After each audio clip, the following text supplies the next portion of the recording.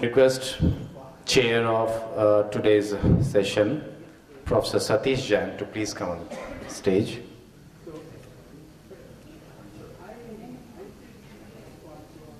Thank you, sir.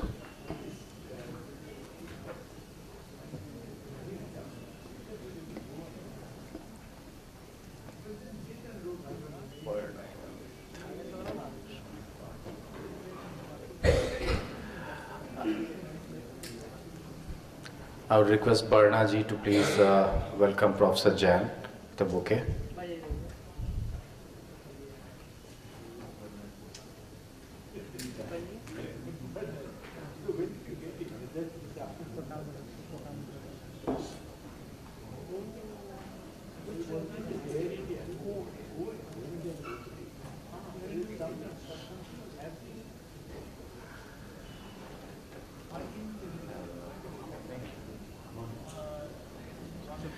I request you to please uh, present bouquet and welcome uh, Professor Iyer.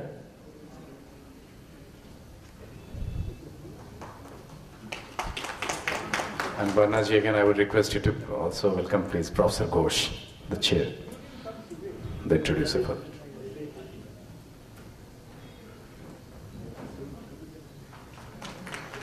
Thank you, sir. I request uh, Professor Jain to kindly conduct the proceedings. Thank you.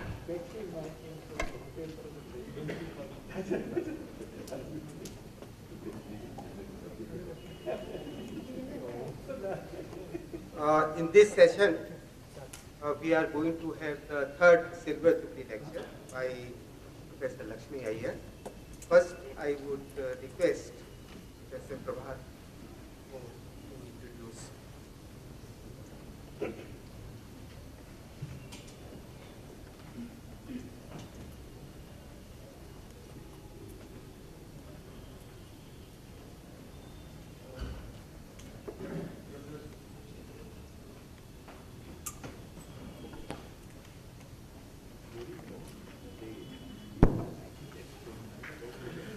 Uh, Professor Satish Jain, Chairman of the session, and dear participants. It's indeed a pleasure for me to introduce to you all Professor Lakshmi Iyer, who is going to deliver the third Silver Jubilee lecture shortly. Professor Iyer had started her career at the Indian Statistical Institute, Kolkata, where she had done her graduation and master's during the 90s.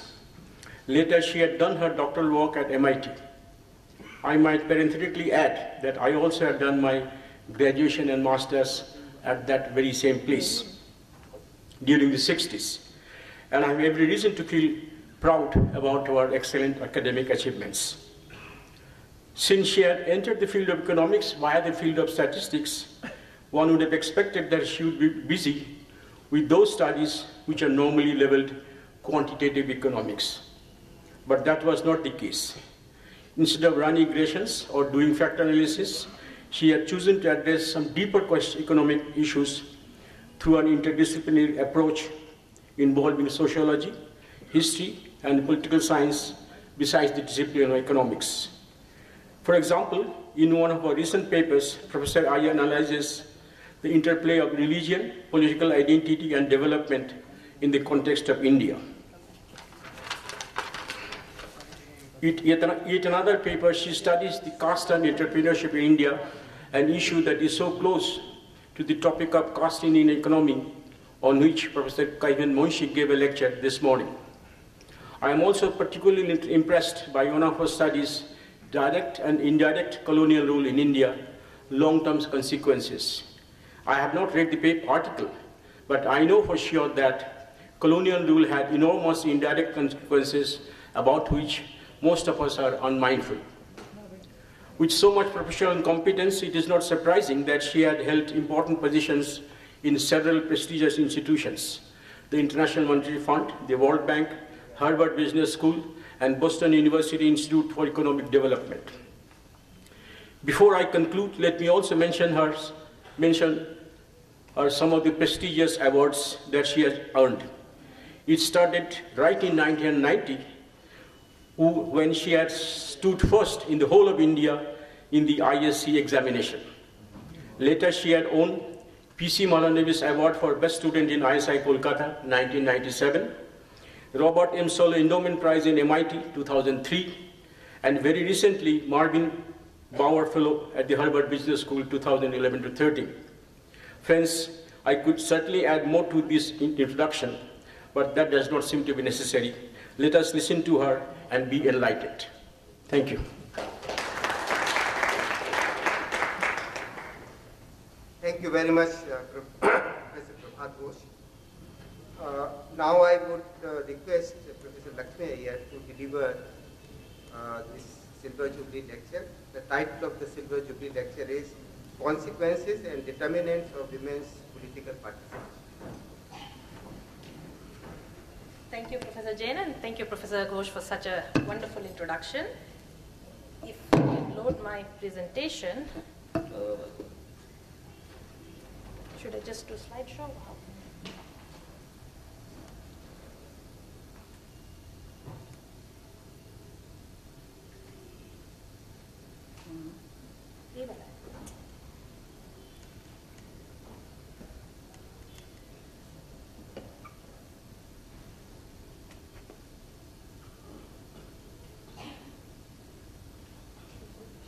Showing over there. Okay, you can do it.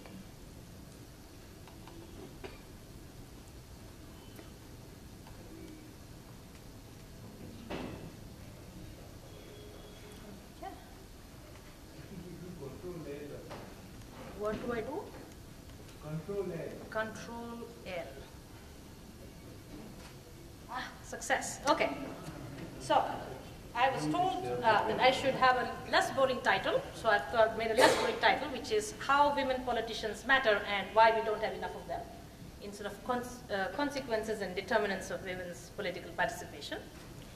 So, what is the uh, motivation for this talk? I was quite struck uh, where, when Dr. Shaibal Gupta yesterday mentioned that among the goals of ADRI was to provide research to enhance economic development and also strengthen the ideals of democracy. And this talk is mostly about democracy. So, what is democracy?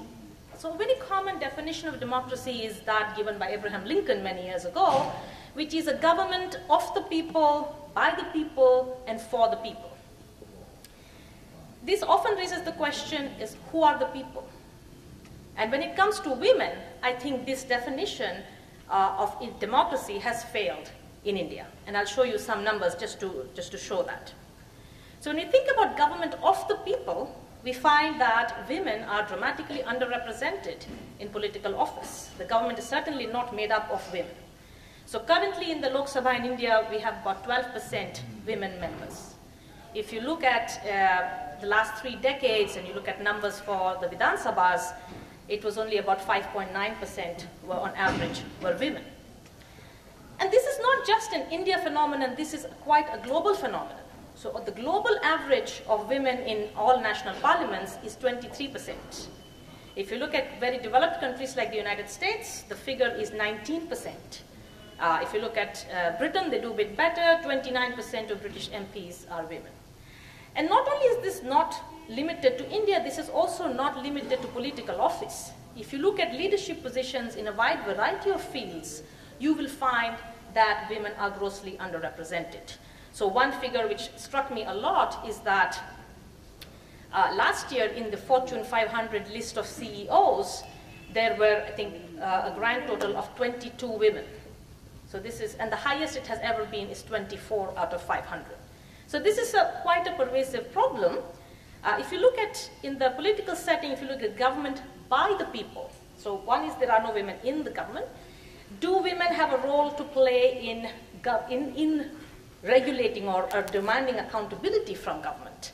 There's some good news here. So in terms of the first basic uh, way that people can influence government is by voting in democracies. And here, after many decades, actually, the gender gap in voting has been eliminated in India. So last, in the 2014 Lok Sabha elections, women's voter turnout was 66%, men's voter turnout was 67%. This graph shows the same thing for Vidhan Sabha elections, and you can see there used to be uh, about a 10 percentage point gap in voter turnout of men and women. By the time you come to the most recent years, that has completely narrowed. In many cases, in many states, like in Bihar, the women's voter turnout has exceeded uh, that of men. So that is one bright spot. Is that enough to demand accountability from governments? I would say no, because, and women still do not participate in many other ways of ensuring accountability of government. So just to cite some figures from a survey we did in 2015 in Uttar Pradesh, and I would like to thank IGC for giving us uh, funding for this survey, which uh, has shown very interesting figures. So we find that women are much less likely to do things like attend the village Gram Sabha meetings, or write letters or petitions to government officials, or even to try to meet the village pradhan. There's a 30 percentage point gap between men and women in just trying to meet the village pradhan.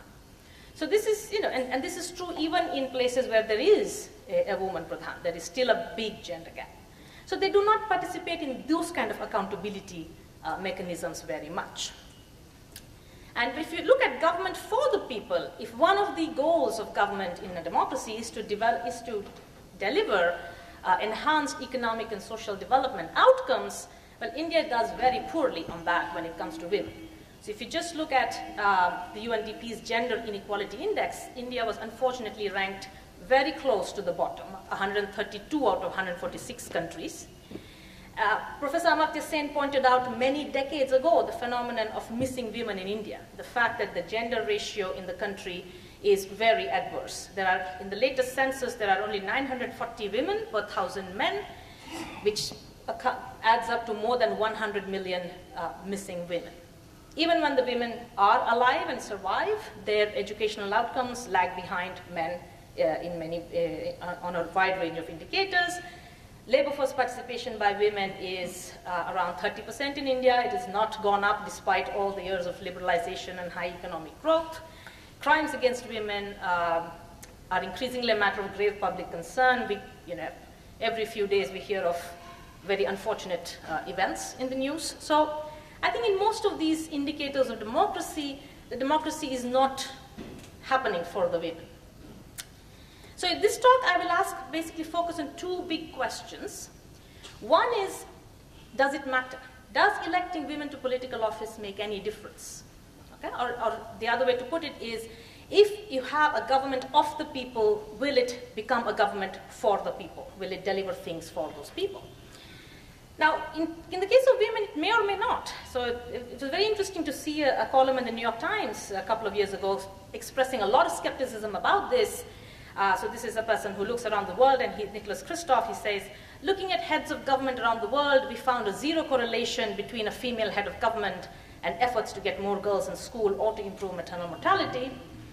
Obviously, doing just a comparison like this is uh, fraught with many issues, and a lot of literature on this topic has been devoted to actually finding out or teasing out the causal effects of having just uh, a woman in office instead of a man, rather than uh, there may be many other circumstances surrounding whether you have a woman head of state or not. Uh, and the second related question, I will re review some of the, my work and other people's work on the first question. I think in many cases the answer is yes, it does make a difference in a positive way. And that naturally leads to the second question of how can women's representation in political office be increased. Uh, so as I said, I'll review some of my work based on data from India on both of these questions. I will try to highlight along the way the th places where I think a lot more research is needed, uh, and there are still many, many uh, questions left to be answered. So let's, on the first question, as I said, I will, uh, I think in many cases the answer is yes. Uh, so if you look at uh, other studies, so the, I will highlight a, a very well-known study by Esther Duflo and Raghavendra Chattopadhyay, where they look at uh, villages in West Bengal which had a woman uh, sarpanch versus a male sarpanch. And they found that the women, places where the women were, were the head of the uh, panchayat, the panchayats did a lot more spending on issues valued by women. The, so they were catering to the demands of, of their constituency. Uh, there are other studies by Sonia Bhalotra, Irma Clots-Figueras, etc., uh, showing that when you have more women in state level office, infant mortality rates go down, education levels go up. Interestingly, you find almost the same results in the Brollo and Troiano study, which focuses on Brazil. So it's not, so the nice part is you see similar results across different countries. I'm going to highlight a particular study I did a few years ago, which is uh, what is the impact of having women in politics on crimes against women. And here again, we are going to use the fact that India implemented the Panchayati Raj, which is gave a one-third quota for women at a wide range of levels, right? So at, at village panchayat, at the heads of village panchayats, at the, the um, intermediate panchayat, which is called different things in different states. You can block samiti, kshetra panchayat, etc. At the district, the zilla parishads and the head positions of zilla parishads, all of these were given, uh, one third was set aside uh, for women. Uh, and what the way we are using to identify the effect of these things is uh, the fact that this was implemented at different times across different states, so we can compare each state to itself before and after uh, the implementation of Panchayati Raj. Okay? So just to uh, note some interesting things about crimes against India, uh, crimes against women, one thing we have to keep in mind is that crimes against women are often subject to severe underreporting. Especially in contexts like India, you can imagine that it's very hard for women victims to approach the police. There are social pressures against it. There's often a stigma of having been a victim uh, of, of various types of crime. So you have to take always official figures with some uh, grain of salt. And it was very interesting to do comparisons across countries uh, on, the, uh, on, um, on the official numbers. India looks very nice.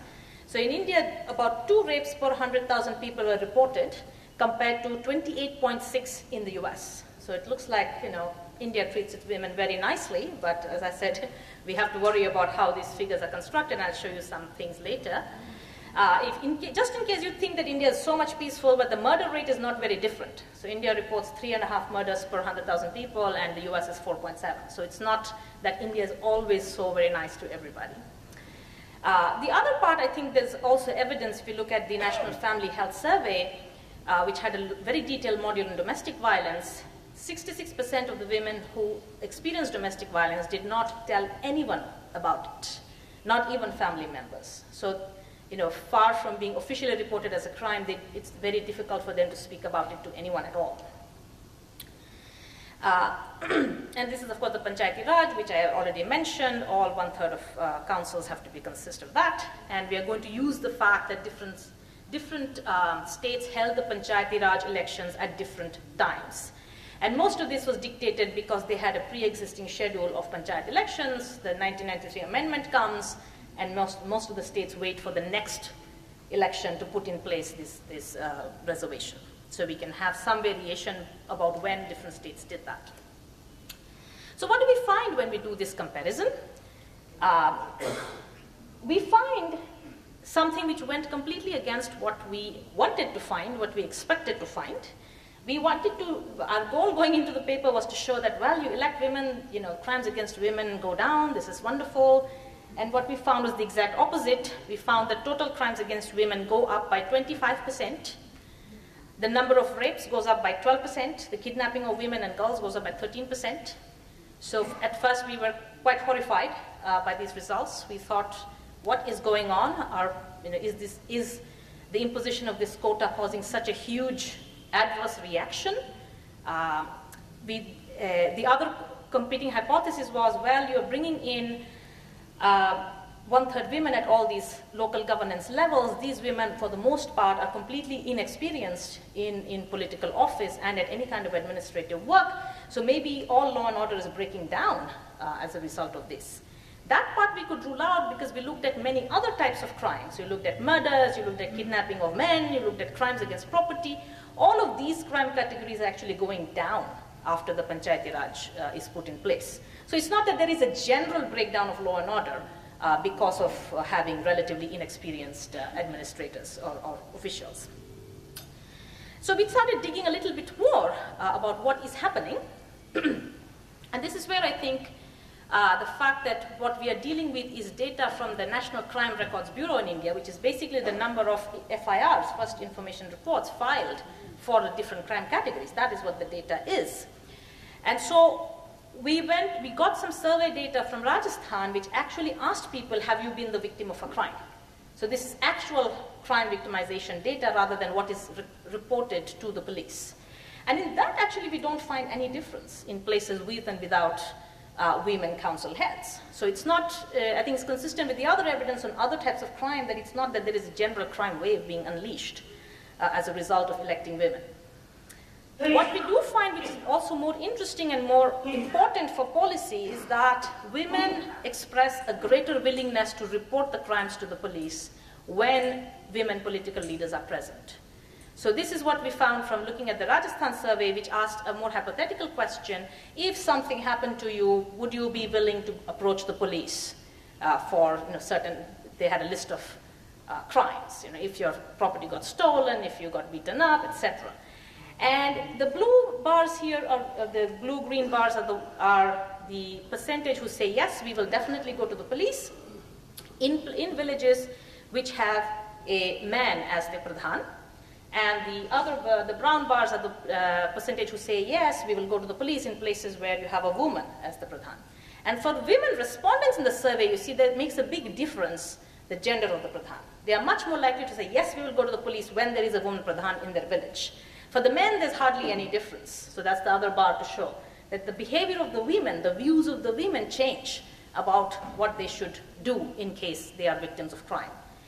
You find that in this survey which we conducted in Uttar Pradesh, you find exactly the same pattern. We asked them, have you ever tried to approach a police official? And again, in the places which had a woman pradhan, the women are much more likely to say, yes, we tried. And the men, there is no difference in their behavior according to the gender of the pradhan. The second mechanism at work, so you know, just going to the police is not enough. The police also has to respond to you. Uh, and this, was, this is not guaranteed because many times uh, the police are reluctant to, re uh, to record uh, FIRs, particularly for crimes against women. So, uh, we, but we find that after the Panchayati Raj is implemented, the behavior of the police also changes. And that I think is important. So that's why these crimes get recorded in the official data. One is the victims are more likely to come forward. And the second is you have survey data which shows that when the women who do go to the police, they're actually treated better uh, in places which have uh, women council heads. So they, in surveys, they say, oh, did you have to pay a bribe? No, we didn't have to pay a bribe. The police actually wrote down my complaint. They investigated the crime. I am satisfied with the uh, behavior of the police, they're much more likely to say these things when there is a female pradhan. And also we had much more detailed data on arrests. Again, from the National Crime Records Bureau, we had arrests for different types of crime. You see that there's a big increase in the arrests for crimes against women. And again, not for other crime categories. So it's not that the police become overall so much more efficient, but they do respond to the women victims. So uh, let me just summarize briefly some policy implications which I think deserve greater study in other work and other settings to see whether these things generalize. So one of the things which I do take from this study is that the political representation of disadvantaged societal groups can increase their access to the criminal justice system. Okay, so in one sense, this is, it's not the case that all of these newly elected women are just proxies for men. So in most states you go, there is this phenomenon of Mukhiyapati or Sarpanchpati, the idea that the woman is technically elected, but it's the man who's running everything, in which case we should see no difference in any outcome after the women are elected, but we do see that. So it's, they're not all simply proxies, which is very encouraging. Uh, the other part which is also encouraging is that it is not just for women. You see the same effect for other disadvantaged groups. So we conducted a parallel analysis for scheduled castes and scheduled tribes because the Panchayati Raj also gave these groups uh, um, reservation in the, uh, in the local, uh, local level offices. And what we find is the results are very similar.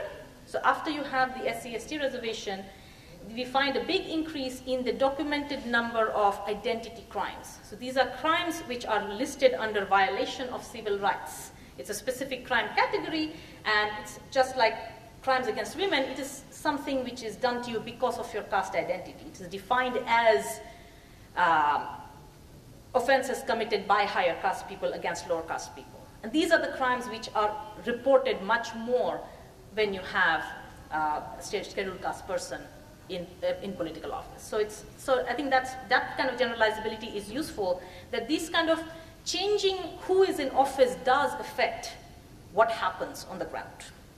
The second thing which I found very interesting from this study is that the mechanisms of change may not be through the formal channels of power.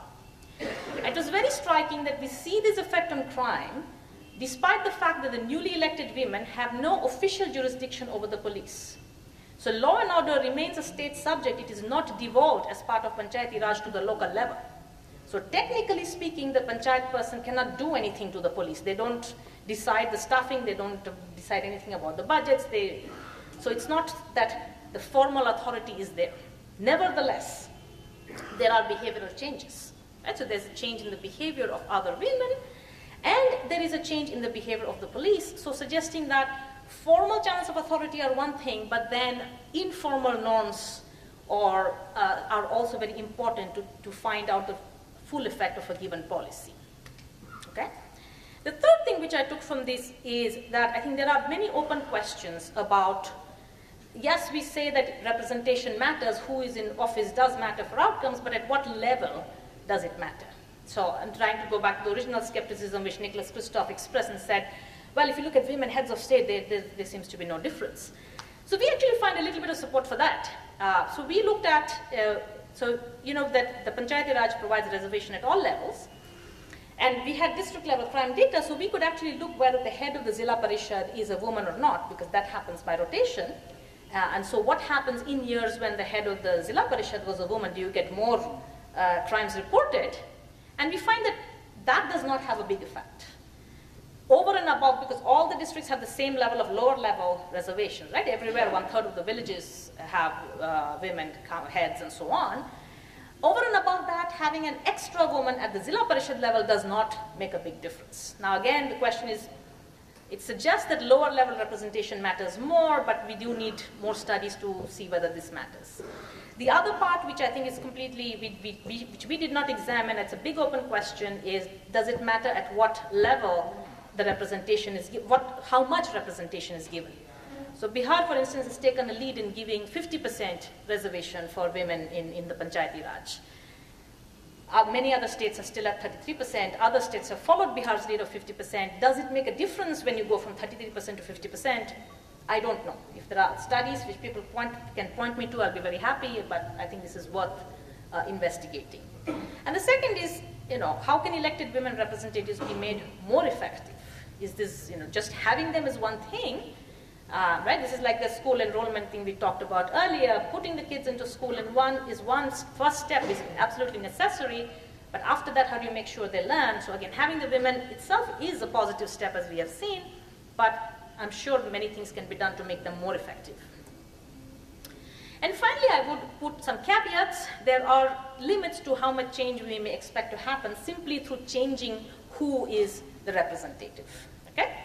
One of the disappointing parts of our study is that we actually we found no evidence that crimes against women are going to decline. And we find very large increases. We, we are saying it's because of reporting, but in the ideal scenario, we want these crimes to decline, the actual crimes. We don't find any evidence of actual crimes declining. So presumably this is the first step. If more crimes are reported and more people are getting arrested for them at some point, uh, hopefully people will change their views that this is an acceptable thing to do, and we will see that kind of behavior going away, but it's not happening yet. So that's the, the other part, as I said, you want to caveat. Other studies have uh, pointed out that not everything is wonderful simply because you have a woman uh, Pradhan instead of a man. There's a very nice study by Pranab Bardhan and Dilip Mookherjee in West Bengal, which shows that the targeting of BPL transfers is much worse under women Pradhans. They are not transferring the, uh, the resources to the right people. They attribute it mainly to the inexperience of the women leaders. They are, most of them are coming to office for the first time. Um, there's another study in Andhra Pradesh which shows that in places with the woman sarpanch, there are much more complaints about NREGA programs and about irregularities and not receiving the payments on time, etc. And there's a study by Esther Duflo and Petya Topalova which uses nationwide data, and they find that residents of villages headed by women are less satisfied with the public goods present in the village, including goods which are beyond the jurisdiction of the panchayat. So there seems, it also seems to generate some kind of resentment uh, among people, they somehow feel less happy uh, that you have a woman sarpanch, even though the actual quality of the public goods is not uh, different. So just again, that's I think part of the question of how can women leaders be made more effective? Uh, and so clearly everything is not most wonderful. Okay? So let me come to the second question, which is uh, getting women into uh, political office. Uh, given that, at least as I said, in many dimensions you do see an, a positive effect of having more women, how can you achieve this? The reform we analyzed in that paper was a quota, and that is the standard tool which most countries are using. That is pretty much the only tool I see being tried is a direct quota. We will have, you know, one third of, uh, of parliament or local council or whatever set aside for women. The question is how effective are quotas? Are they the good long run solution? I'm a bit skeptical about this. We have just been looking at data from the latest uh, Panchayat elections in UP, that is 2015, which just finished. This is 20 years after UP started uh, the Panchayati Raj. So this is, I think, the fourth round of Panchayati Raj elections, and obviously in, in the places, in the seats which are reserved for women, there are women. But if you look at the unreserved seats, you have only 13% women candidates and 16% women winners. So 20 years is certainly not enough to bring the unreserved places anywhere close to, to equality. And these are obviously all the unreserved places were at some point reserved because there's the fourth round of reservation which is happening. So I don't know whether this will uh, just uh, having a quota, does it mean that we have to have a permanent quota? So I think all these questions are, are worth investigating. What I'll try to show you a little bit um, is some analysis I've done on potential alternatives to quotas, and there's some good news and bad news coming up. So the one thing I do want to point out is the importance of candidacy. So even in UP, as we saw, there were 13% women candidates and 16% women winners. If you look at Vidhan Sabha data, you see the same thing. Over the last three decades, you have about 5.9% of the winners were women, but only 4.7 of the candidates were women. So it is not the case that there are lots and lots of women candidates in all these elections and they just lose. There are no candidates. So in a sense, when you say, why are there no women in political office, you have to roll it one step back and say, why are there no women even trying to get elected? So a lot of analysis I will show you will focus on candidacy, on getting women candidates in the first place. Of course, they may expect that they will lose and therefore they don't enter, but if you want to think about how to improve things, first you have to get them to enter. So you can think about many, many reasons why this might happen. I'm going to group them into two broad categories. One is what I, I call demand side factors.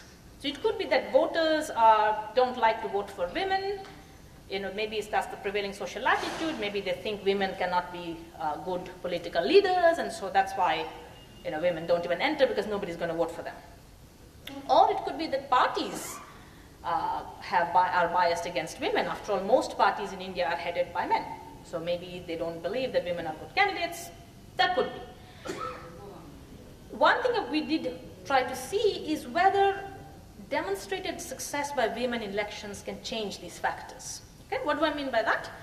Uh, we try to see whether what happens after a woman wins an election. So the idea is that with the quota system, it may be that women win in a reserved seat, but that win is kind of discounted. Well, it was a reserved seat, so you know, what does it show?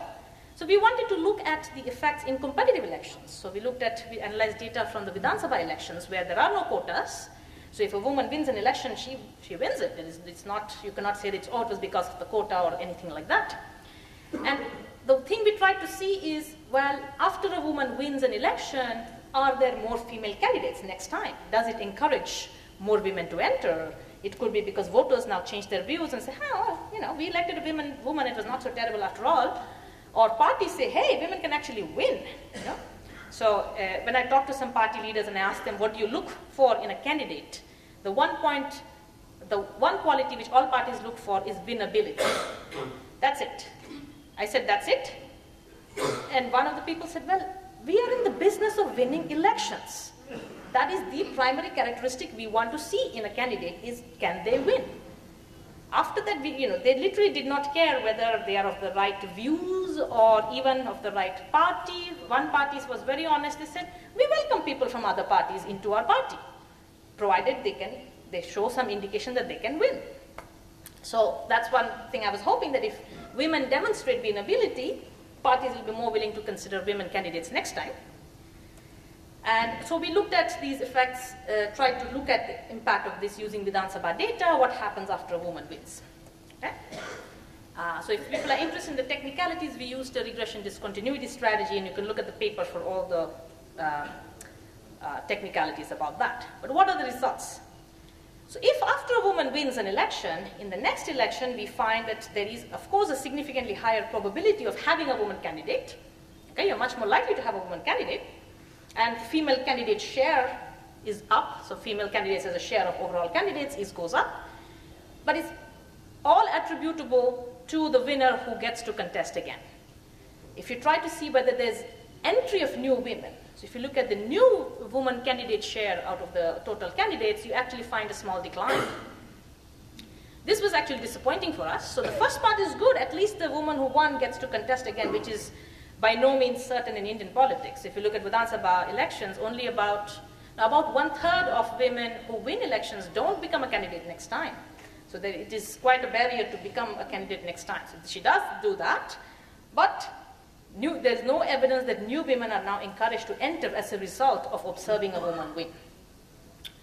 The further thing which we did was we find that these candidacy effects vary a lot across different states. And the way we cut the states was just looking at whether the societal context matters. We cut the states by how many missing women they have. Okay, this is a very crude indicator of the status of women. Right? So we looked at states where you have a very low female population share. Right? So this is uh, most, of the, most of the states in the north and the west of the country versus states which have a more uh, normal gender ratio, which is mostly states in the eastern and, and, and southern part of India. And you find that all of these decline in the share of new female candidates is coming from the states which have very low female population share. These are states where, if you think of it as a marker for women's status, these are the states where women are not given very high status, and that's where you see this negative response uh, to women winning an election. In the states with the more normal gender ratio, you actually find a zero effect on the entry of new female candidates. You don't find an increase but at least you don't find a, an actual discouragement effect. So I think in a sense this was, uh, these results were discouraging for us because it means that you cannot depend on an endogenous channel to ensure greater women's candidacy over time. So it is not the case that a few women can come in, show that it is possible to win, and that will generate more female candidacy, and so on and so on. This beautiful virtuous cycle is not there. Okay? So in one sense, that means you need some extra intervention if you want to have more women in political office. That could be through quotas or that could be through other things. So one of the things we were, the other part we were considering is, oops, what did I do? What did I do? Sorry. the other part we were considering is what I call supply side factors. Okay? What is it that holds back women? Why are there no women candidates? And so we wanted to, we, I'll show you some numbers from our UP survey, which was conducted at the panchayat level. And one nice thing about the panchayat level in UP, at least, is that parties are not officially involved. So just because a party leader might have a, a preference for male candidates or female candidates is not really relevant because anybody can stand up and become a candidate themselves. They don't have to go through parties to become effective candidates. Many hypotheses have been put forward. So some, if you talk to some political parties, they'll say, well, women are just not interested in politics. This I heard many, many times. There are studies in the US which try to measure sort of political ambition, and they find that women display much less political ambition. They don't see themselves as political leaders for whatever reason. It could be that women perceive themselves as less qualified uh, for political office. So, you know, official qualifications required for political candidates in India are quite minimal. There is no education requirement, there is no, uh, there are not very huge requirements. But they may perceive themselves as less qualified and not come forward. They may just have less knowledge about the political process. As we know in India overall, women are much less educated than men, so they may just not know how to, even if they want to be involved, they don't know how to go about it. They may have fewer resources to campaign with. Um, there is some experimental evidence in lab experiments that women are less likely to enter competitive environments. So the, there's a bunch of reasons you, know, you could think of. We investigated some of this in our UP survey, and we find that they are actually relevant. Women are lagging behind men on many of these supply side factors. So for instance, they are much less likely to know the facts about the political process. So in our survey, we asked them, can women become panchayat members? And we asked a bunch of questions, but among these, you'll see that only 73% of women said, yes, women can become panchayat members. They did not even know the rule, that you, it's, it's certainly possible. They assumed it was not possible at all. The men were actually more knowledgeable. 88% of the men say, yes, of course, women can become panchayat members. We asked questions about their confidence in their leadership abilities. You know, can you lead a team? Do you know how to delegate tasks, etc.? Women systematically rated themselves lower. Uh, no, I am not confident. I don't believe I can get it done. Okay? And of course, if you think about interest, we ask questions like, have you ever heard a political speech? Have you go do discuss uh, politics with your friends, etc.? All of the measures, women are much lower uh, than men. Does this matter for actual outcomes in the political process? We find it does. So what we did was uh, we looked at many types of political participation in our survey. One was, have you ever been a candidate? Uh, do you have are you a member of any political party? Are you involved in campaigns? Have you gone and campaigned for someone else? Have you, uh, you know, attended some rallies? Have you organized any meetings, etc.? And then we looked at a bunch of what we call non-electoral political participation, which is something that I mentioned before. Did you ever attend the Gram Sabha meeting? Have you tried to meet the Pradhan? Have you ever um, written a letter to the government asking for your rights and so on?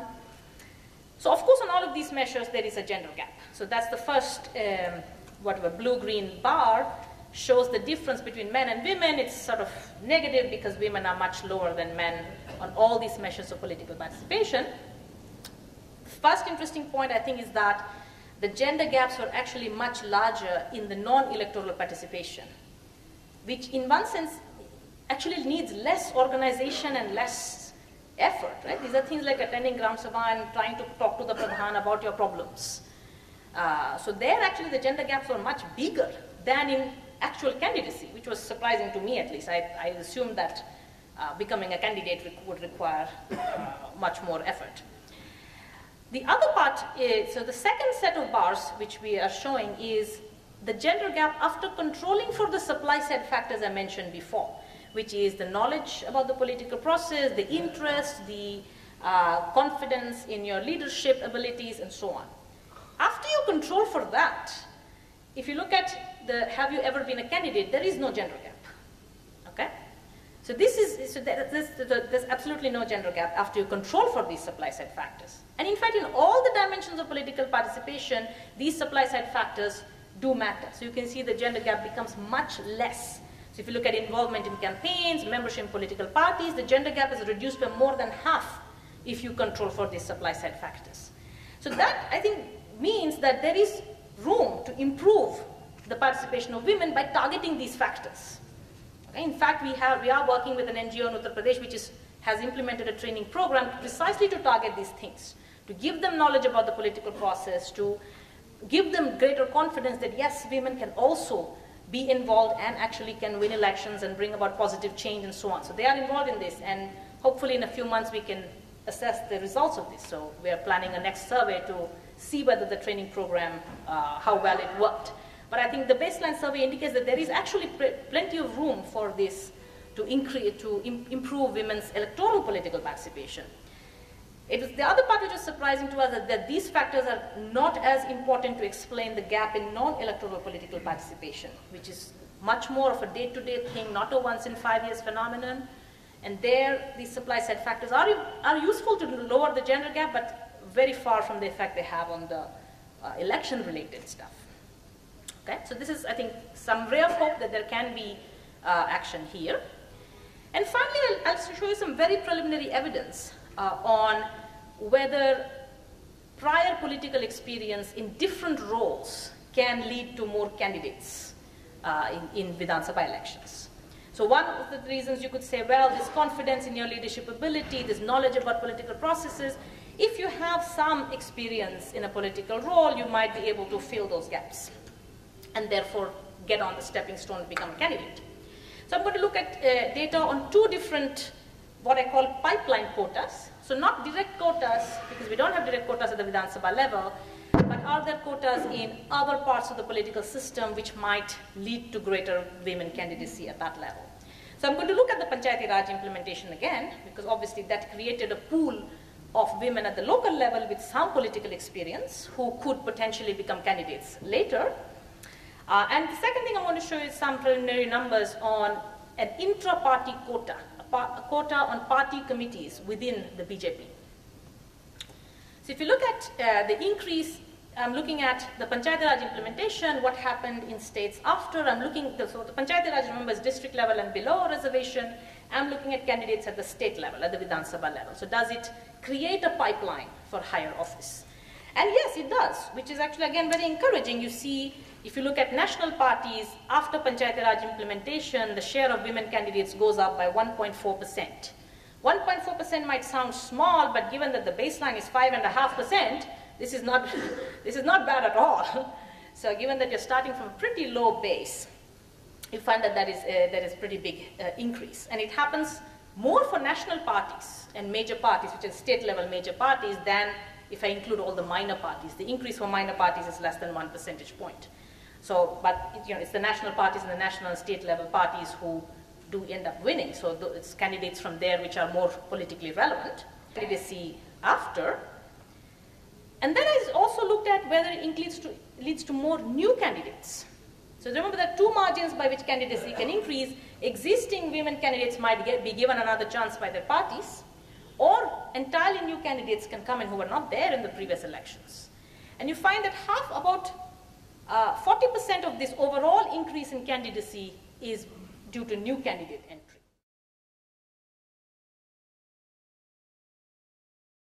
effects. The woman showed she can win in an election, and that had absolutely no effect on new candidates. In fact, there was a decline. But having some having ex, have some experience in the political process does lead them up the pipeline. So again, this is uh, I think some rays of hope. And finally, I land with some uh, with some numbers on the intra-party quota. So this is the BJP in January 2008 amended the party constitution uh, to provide for a one-third quota for women in all party executive positions. So this is all committees at the district level up to the national executive committee were required to have one-third of women. And this is an interesting quota. It's because it was voluntarily adopted by the party. They were not, you know, forced by anybody. Uh, compared to other kinds of party quotas, say in Spain and France, where parties were required by the government to have 40% women among the candidates, not in the in internal party things, but among candidates. And when this was externally imposed upon the parties, there's a lot of evidence that many parties tried to avoid this. So in France, several parties paid a fine. They preferred to pay a fine rather than have women candidates. In Spain, there was no option. They had to have 40% women candidates. So they made sure to put them in seats which they were going to lose anyway. So, if, so I think the externally imposed quotas parties find ways to um, avoid uh, sort of sticking to the spirit of that. But the BJP, this was purely voluntary. Now, will this necessarily translate into more female candidates? So remember, the quota is not for candidates at all. It's for internal party uh, committees. In fact, I talked to somebody from the BJP. I said, how did you manage to change the party constitution to allow this? Because when you think about the women's reservation bill in the Lok Sabha, it has been pending for I don't know how many years, right? It was proposed many years ago to have a one-third quota in Lok Sabha and Vidhan Sabha. The bill has not passed. I said, how did you manage to do it within the party? And the answer actually was very simple. He said, well, we expanded the committees. So nobody actually lost their seat. We just created more new seats and those had to be filled by women. But it still meant that one-third, uh, you got one-third women, which I thought was, you know, not a bad way to make sure something happens. Uh, but again, there's no reason it may or may not translate into greater female candidacy. Maybe these women, again, the idea is they may be only token candidates. They don't, they're not given any real responsibilities. They don't really develop any, develop themselves as candidates. And so what I do is I just examine trends in women's candidacy before and after this policy, whether the trend is different in the BJP versus other parties which don't have this policy.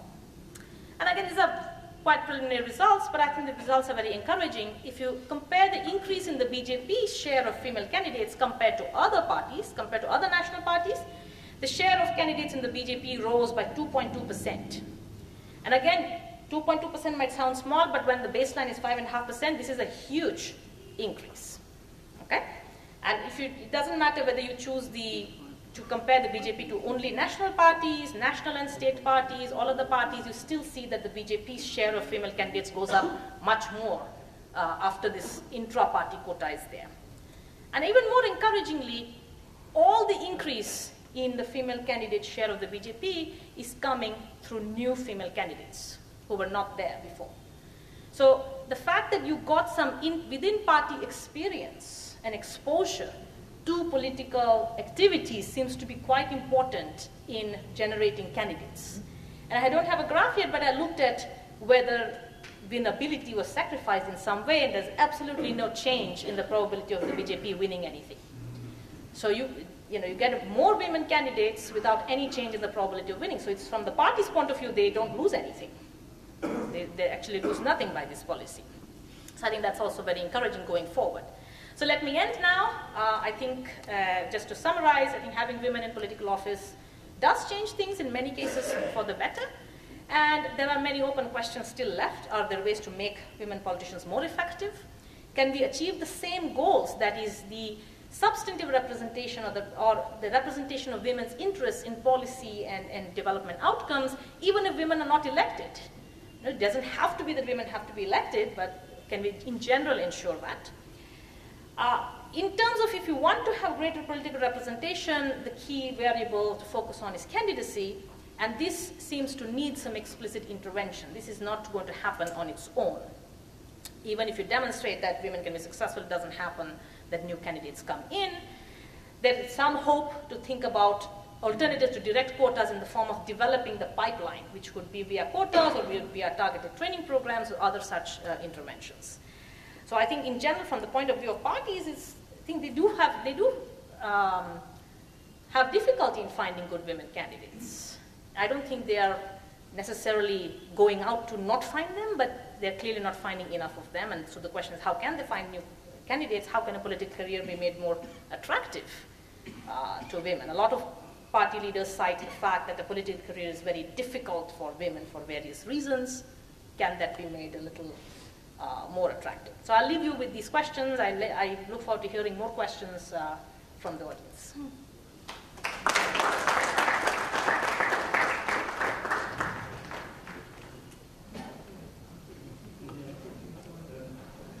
Thank you very much, Professor Iyer.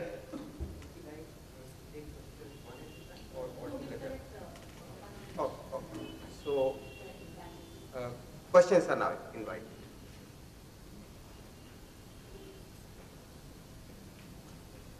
Yeah, yes, please. Yeah, yes, please. Can you hear me? Yeah, Great, great. Um, the first question is, I have two questions. One is just a quick clarification. Um, you mentioned, if I've understood you correctly, um, winnability reduces chances of new candidates. Uh, and this is especially in the case where um, uh, the status of women are lower, um, using the proxy that you did. And political experience, however, increases the chances of new candidates.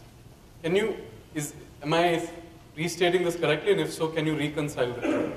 Um, the second question is that it's very clear from your, uh, uh, from your study and the others that women are not just proxy candidates when they're at the panchayat level, as you said.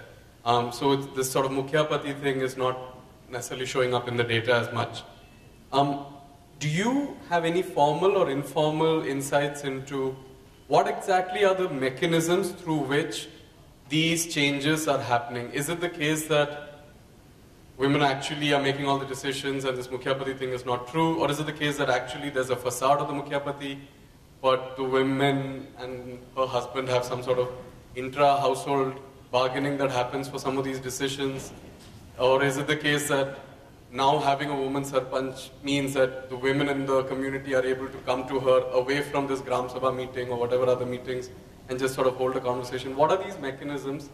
Are there, I don't know if you've formally looked into this or if others have. but What are some insights on it? Subbu. Just a couple of minor observations on your fine presentation. the, the first has to do with your finding that uh, uh,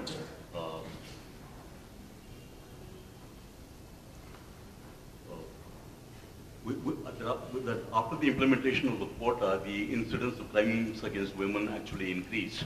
And that was resolved subsequently by your noting that it was reporting which, which made the difference. Uh, an analogous uh, uh, issue has to do with a finding in the 1980s, which was quite a puzzle then, about higher, a higher incidence of morbidity in the state of Kerala than elsewhere.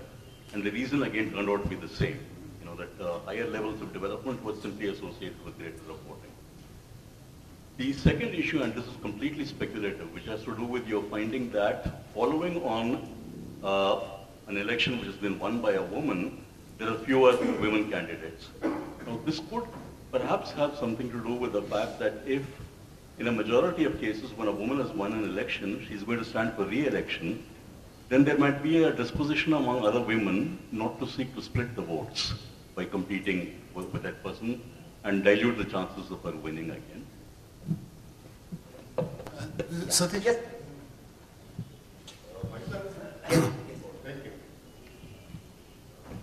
Uh, in fact, this uh, uh, thing, consequences and determinants of women, uh, women's political participation, uh, it was more focused on uh, the consequences towards crime against women and reporting the crime. To me, this is one aspect of the political leaders, panchayat leaders. Panchayat is supposed to do so many other things that needs to be taken into account. That's one. Second is that uh, reporting is okay. What about arrest and conviction? And what about uh, reconciliation and compromise between the victor and the assaulter? I think that also needs to be taken into account. And of course, uh, the system in which the panchayat leaders or other leaders operate is the same. That, uh, that has also a bearing on all the consequences which you have brought. Thank you. Yeah, uh, thank you. Uh, well, uh, first of all, uh, I really enjoyed your uh, presentation. Very educative for me, definitely. Let me record that. If I'm not mistaken, I was trying to uh, put down uh, some things that you stated, and I thought I have written down correctly. At one point, you said most parties are headed by men. I'm just quoting you. Think that is technically right. In the Indian context, uh, most of the parties are indeed headed by men. But my thought is the following. I'd like your response. You look at the Congress party, Sonia, uh, Mamta Didi, Trinamool, Jayalalitha, Tamil Nadu, Mayawati. Now these are formidable uh, leaderships of four major political parties. And those are the only four. This is, I'm stating, I, I picked up these, these four, and you will be 100% right. There are many other parties headed by. But these are substantial political parties today. There are political parties that, that have fallen on the wayside uh, in, in the recent past and in the slightly longer past. So, given that uh, these uh, ladies have been there for a good length of time, should there not have been some possibility towards an obvious greater representation, at least in terms of candidacy? And if not, what are the reasons for it? So let me actually, let me, can I take to answer the questions so far and then we can collect the new batch uh, of questions. Okay? So just to uh, respond to the gentleman at the back, to reconcile whether, you know, the negative political, political effects of actually demonstrating winnability with the positive effects of experience, I don't have a full explanation yet. I have a tentative explanation, which is that if you have greater political experience, a potential woman candidate has the ability or the confidence to persist even after receiving an initially not very great reaction from party leaders. If you think about somebody who does has no experience and wants to become a leader and they try once and they're not uh, encouraged, I think they're much more likely to give up. While if you have people with more experience, they are much more likely to persist. This is based on some conversation I had with some women within the BJP. I said, you know, what did this quota give you? And they said, this gives us number one experience, which we can cite uh, in favor of considering us as candidates, and number two, it gives us confidence to present ourselves as potential candidates. So that's a, that's a hypothesis. Again, I, I don't have proof or something like that, but I think that's what makes a difference. Um, and the question of, you know, is, is there really no Mukhiapati phenomenon? I would not say there is no. All I'm saying is the fact that we see differences happening means that it's not true that all the women are simply proxies. There are enough who are not simply uh, continuing the old situation that we can actually see an effect. Of course, so we don't know, we can't capture exactly how many women are actually independently of, you know, handling their uh, duties. We tried to get some idea of this in our survey. So I think we found something like we asked uh, our uh, respondents, do you think your Pradhan is doing, doing their job independently? And the answer is about 50% for women. So 50% of the respondents say for a woman Pradhan, they will say, yes, I think she's doing her job independently. For men, the answer was 70%. So even the men are often perceived as not being truly independent, but acting under direction of I don't know who but uh, definitely women are much less likely to be perceived as independent. So I think the fact that the, at least 50% of, you can look at it as half full or half empty, literally, at least 50% of women are, are perceived as being, as acting independently and doing their job on their own. So that's a good way to split the difference. Uh, the, the split vote explanation which you proposed, I, we looked into it, it doesn't really hold. We looked at places where the women choose to contest again versus not, but even if the woman incumbent is not in the race, there are no new women candidates. So this, you know, you can call it a negative effect or definitely the zero is there. There is no positive for sure. And we can argue how much of a negative there is. So it's still disappointing. We looked at arrests, as you pointed out, and the arrests for crimes against women also go up uh, after the Panchayati Raj. So it's not just that the FIR is being recorded, arrests are also happening. And exactly for the same crime categories, not for other crimes It's not that the police suddenly become active in everything. Convictions are hard to look at because you know the Indian legal system takes uh, many years to process cases. So you have data on convictions, but it tells you in this year there, there, there were these many convictions, but it may be for crimes committed many, many years in the past. So that was just a data issue. We couldn't really track it properly. In terms of reconciliation and so on, we have no data to even start on thinking about it. It may be happening, we have no idea. Uh, and then you asked about women-headed parties. So actually we did look at this, uh, because yes, it's only four out of 40 or so major parties are women, but these are big parties. And are, um, if you look at overall women candidate share, it is higher in these parties. So overall, I think compared to the parties headed by men, they have on average 5% women candidates, and the women-headed parties have 7%. So it's higher. Which is cause, which is effect, I don't know. Is it the case that these people had lots of women candidates, that's why they were more willing to have a woman head, or vice versa? What we do find is when we're looking at these uh, discouragement effect after a woman wins, uh, it happens only in male-headed parties. It does not happen in women-headed parties. So at least it's not that there, there is a big positive increase, that is not there. The positive we cannot find anywhere, but at least we don't find the negative, active discouragement. So there is some difference between parties headed by women uh, and men. Thank you all. Let us take a new batch of questions. So please start from this side. Yeah. Yes. Yeah. Yeah. Professor. Mike, please.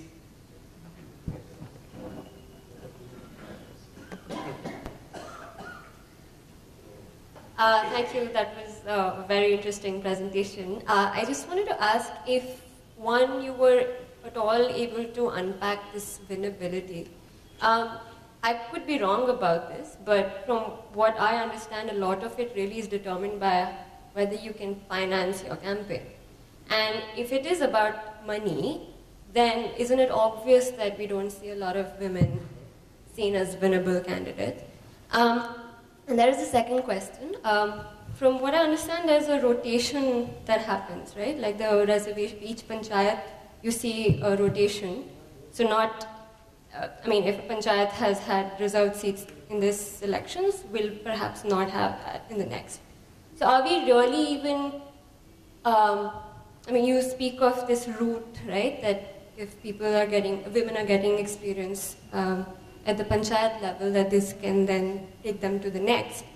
Uh, is that really going to happen? Because in a five-year term, especially if it's a first term, you won't really, I mean, your capacity building isn't really that much, your leadership skills don't improve that much, and you have no incentive to, or you're unable to stand again in the next election. So how do you sort of, uh, I mean, what do you feel about those? And I'm sorry, but just if it's, if there's time, um, could you also touch uh, whether you were able to socially profile who are these women who are winning? Who are these women who are um, candidates? Um, are they from a particular group, caste, um, class? Or, and what sort of political lineage? Are they, you know, daughters and wives of uh, previous candidates? Thank you. Yeah, I guess uh, there is a quote also in, uh, in democracy we get the representatives we deserve. you know, extending to that, just for your information's sake, the Congress party has reserved 50% of the organizational post for deprived section, which includes women. So that's a couple of years back, and it has amended the constitution. That is for your information. And yeah, and, and, and another, I guess, I'm a bit confused about the data which uh, you, uh, you compared with BJP and other national parties on the idea of empowerment of women. The data you uh, selected, I guess I'm of the opinion, the Congress party is better represented in, uh, as far as the gender discrimination, has addressed the issue of gender discrimination more than any other parties. In sense of giving organizational responsibility or giving a chance to contest election. Now the third as far as your idea about you know, quota system is, even uh, you know even women seats are being reserved in panchayat but uh, under the gender seats women doesn't fare well but that goes with the SC/ST quota also the fact of the idea is our mindset with the affirmative action is we think it's not a minimum representation we think that's the maximum representation so overall idea has to change on the affirmative action so it's so i guess and also i guess if you could uh, the social profiling, do you support also the women reservation bill? The, the lesser privileged women among SC, ST and OBC should be included on the uh, women reservation bill in parliament? Thank you. Uh, because the number of questions is quite large, so please keep all your questions very short. Uh, yeah, at the back. Yeah. Yes? Yeah. Yeah, Mike is Mike would reach. Thank you, Professor Yeah, That was, that was a fantastic talk. I had one question. You know that simultaneous to the problem of women's representation in politics, we also have this crisis of women dropping out of the labor market.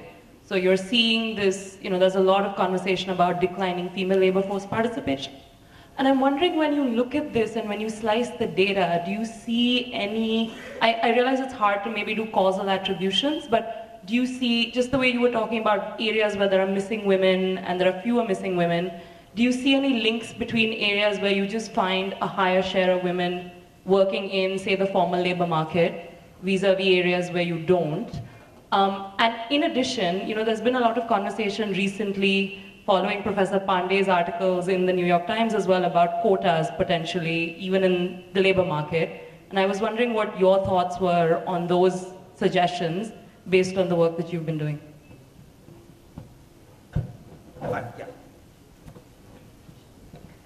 Uh, a quick question. I just wanted to see if you did any research that would shed light on whether having a woman candidate at the village level impacts women's health issues in any way. Uh, anyone now uh, on this side? So we go to this side. Yeah. Yeah. I'll just speak up. So uh, my question is that uh, it's, it's one thing to have women candidates, but what about agenda setting? What about issues? Have you looked at uh, the impact that agenda setting has? Maybe in an election, the agendas are just more amenable to women and, and there are other organizations who have set it up and that would lead the path to women candidates. In my experience in politics in five years, I've not seen that happening. I, have almost seen that that has been left to the rest of the society to figure out what the agenda is, is going to be. Somehow there has to be a women candidate. That's the kind of uh, mindset that I've seen more than uh, this is women, women candidate is required because this is the agenda of this election. Let me just answer the bunch of questions. Thank you all for very interesting comments. So let me just address the first question, which is, you know, what is winnability? What do parties value? Is it only money? So most parties will tell you that it's not only money. So money is one of the considerations. They say we want, we want to know that the candidate will have, has the resources to do a good campaign. but they also consider things like, are you the right caste for this constituency? Are you uh, experienced? Do you have support from within the party? So will the party workers really put a lot of effort for you? Uh, because in a sense, these are different trade-offs. So you, you could have candidates which, who have lesser financial resources, but a lot of uh, internal party support. And that can be a trade-off. So they don't, uh, they do weigh a lot of different other considerations. Uh, in terms of getting more information on how much money, nobody will talk. Nobody will talk about campaign financing at all. It's just impossible to get any information. Uh, in the question of you know, when it'll create a, uh, in terms of agenda setting which, uh, which you asked, it was actually quite astonishing to me that the agenda had played no role in candidate selection. Whichever party I talked to, they, I asked them, what do you look for in a candidate? The answer was only winnability. I was like, don't you want to look at what causes this person will support or what?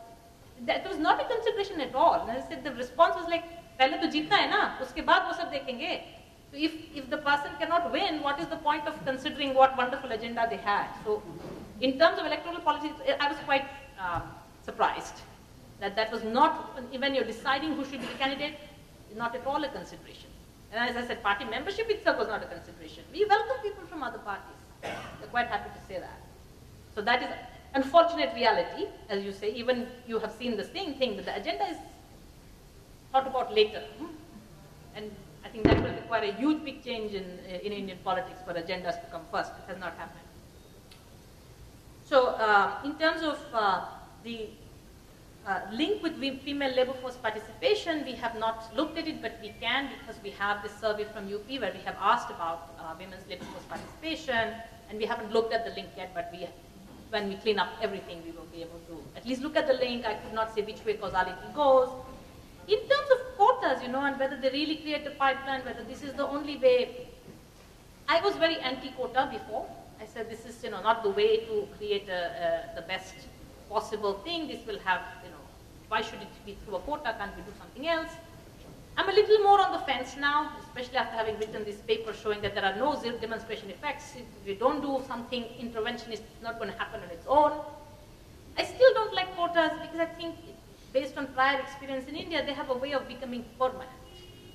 And that is not the correct situation. It is true, as one of you said, that the perception on the ground very much is that this is the maximum. You talk to all the women in UP, ye to mahila seat hai, wo purush seat and we keep saying purush seat koi hota nahi hai. There is no purush but everybody is convinced that there is a purush. So we ask like, questions, things like, is it possible to have only women, uh, is it, what is it? Is it possible to have an all-male panchayat? And I think 20 to 30% say yes. Which is, you know, technically it is just not possible under the rules. And remember, this has been in UP for 20 years now. But the perception is exactly this, that this is the only place where women can contest and other places are banned. So one of the parts of the training which this NGO was imparting was to dispel this myth and say that this is not the scene. They at least get the facts right. This is not what, so that itself is, you're right, it, sometimes the quotas generate these other weird sort of uh, effects that they are perceived as, uh, as a ceiling, and then they have a way of becoming permanent, which is not So I think in terms of labor market quotas and so on, if I could find a way to ensure that this would be temporary, I'm happy to support a temporary quota as a way to break the vicious cycle of there are not enough women, so we don't know what they will perform like, we are too, we don't want to give them a chance because who knows what they will do. I think quotas are good if they can be a way of demonstrating that it works.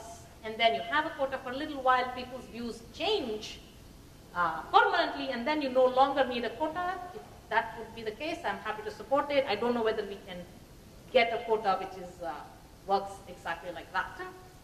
All right, and then what other questions were there? In terms of what the profiles of these women candidates and women leaders, we are putting together the data. We'll have answers in some time. That's why I said these are still preliminary results. We don't know uh, all the things yet. Figuring out who is connected to who is actually quite a difficult uh, exercise because you have to go deep into the background of uh, each person. You just can't tell uh, by the name sometimes. It's very hard because they're, you know, as we know, you know Lalu Prasad Yadav's wife called Rabri Devi. If you didn't know that she's his wife, you could not. So for some high-profile people, you know exactly how they're connected, but do it on a comprehensive scale with a lot of data, uh, it's just hard. But thank you all for excellent comments. Yeah.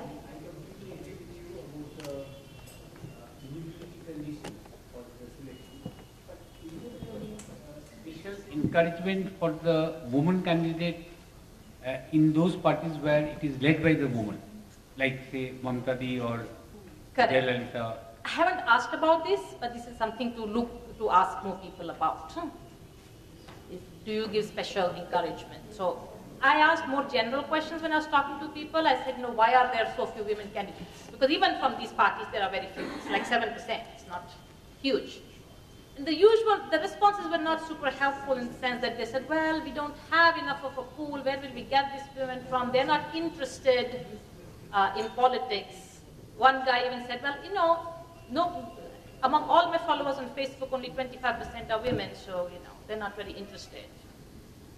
So this was, I think that, so I was not very, uh, I didn't get very helpful responses from them, but I didn't ask specifically about what do you do to encourage uh, women candidates. Uh, before we close, I have a small question. Please. uh, these uh, the figures of rapes is a considerable difference between uh, India and US. Mm -hmm. This obviously you are absolutely right that this is tremendous underrepresentation. You're speaking to the mic. Sorry. Uh, there's a tremendous difference uh, between the reported uh, figure of rapes in India and the reported uh, figures of rapes in USA. Two. Uh, yeah, it was two versus, versus 30, 28. 28 or something. Something like Huge. Okay. Now, there's no doubt that there's tremendous underreported in India that, that everyone would take. But it is, uh, it seems to me that there's tremendous underreportage in USA as well. In the last two, three months, there have been a series of articles in New York Times basically uh, reporting surveys of very prestigious American universities in which something like between 25% to 30% uh, of uh, girls who are studying in the, in the universities have reported rapes and uh, other uh, sexual harassment. Most of them did not report. Most of them did not report because they knew that authorities would not do anything. In some cases where rapes were reported, including universities like Berkeley, in fact, nothing was done. Uh, indeed, the instead of taking action against uh, boys uh, involved in these crimes, uh, indirectly there was some harassment to those who were victims. So it seems to me that there's a lot of underreportage there. Now, whether underreportage in USA uh, is uh, less compared to India, or we really don't have any uh, figures either way, as far as uh, I know. So it would be actually, uh, it's difficult to say whether in fact uh, if all the report, all the rapes are reported, whether in fact uh, the, rapes in India would be less or more, is, Correct, uh, is, exactly. is, is, is, is not possible to say. It's not possible to say because you're right that there is underreporting everywhere. Everywhere, and the, it's of, uh, the proportions are massive. Correct. Because we are looking at one third, 20, even Yeah, yeah. 25% figure is taken, the, uh, 28 uh, rapes per million, and here we are talking of 25% girls in prestigious American Correct. universities Yeah, yeah. report. In fact, So- I think one, one woman is suing Harvard, saying because you didn't do anything uh, to help. It was negligence. Uh, so, on. so yes, it is. That is exactly. So thank you very much, Professor Iyer, for a very, very, uh, very, very interesting uh, presentation, and thank you all. Now, we have to wait the memento because it's meant to Thank you.